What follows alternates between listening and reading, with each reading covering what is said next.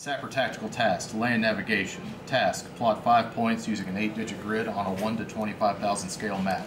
Condition, you are a member of a team conducting tactical operations and have a requirement to determine five grid coordinates.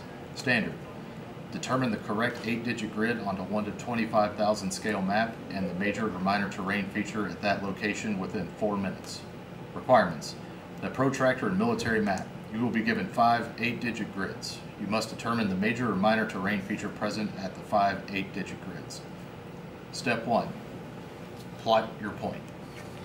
Your grid is eight zero zero eight six eight one zero.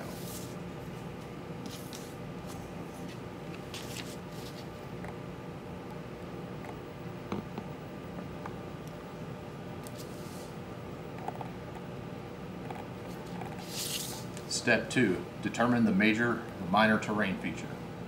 Major terrain feature is a hill. This concludes land navigation.